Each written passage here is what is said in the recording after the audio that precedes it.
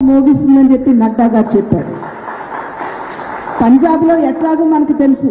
కొంచెం మనం అక్కడ ఇంకా బలం పుంజుకోవాల్సినటువంటి సందర్భంలో పంజాబ్లో మనం రాము అని తెలిసినప్పటికీ కూడా మిగిలిన నాలుగు రాష్ట్రాల్లో ఖచ్చితంగా భారతీయ జనతా పార్టీ విజయాన్ని సాధిస్తుంది అనేటువంటి నమ్మకం మన నాయకులకి ఉన్నది అని అంటే అది కార్యకర్తల మీద ఉన్నటువంటి విశ్వాసంగా మనం అందరం కూడా గుర్తించాలి అని చెప్పి సభాముఖంగా మీ మిమ్మల్ని అందరినీ కూడా మీకు తెలియజేసుకుంటున్నటువంటి విషయం.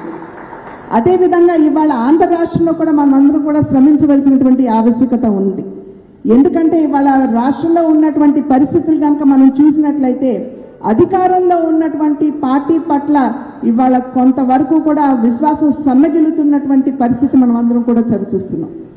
ప్రజా హితం హితానికి పెద్దపీట వేయడం కాకుండా తన స్వలాభం కావచ్చు లేదా తన చుట్టుపక్కల ఉన్నటువంటి తన వారికి ఏ విధంగా లాభం చేకూర్చాలి అనేటువంటి విషయం మీద ఉన్నటువంటి ధ్యాస రాష్ట్ర అభివృద్ధి మీద రాష్ట్ర వికాసం మీద లేదు అనేటువంటి విషయం మనందరికీ తెలిసినటువంటి విషయం. ఇవాళ రాష్ట్రంలో ఉన్నటువంటి ఆర్థిక పరిస్థితి కనుక చూసినట్లయితే అధోగతి స్థాయిలో ఉన్నది అనేటువంటి విషయం మనం అందరం కూడా గుర్తించాలి.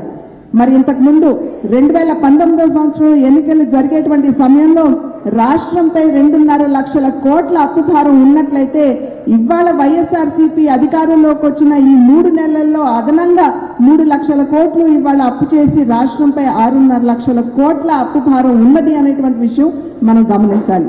అంటే కేవలం ఆంధ్ర రాష్ట్రంలో ఉన్నటువంటి మన మీద మాత్రమే కాదు పుట్టబోయేటువంటి మన బిడ్డల మీద కూడా ప్రతి ఒక్క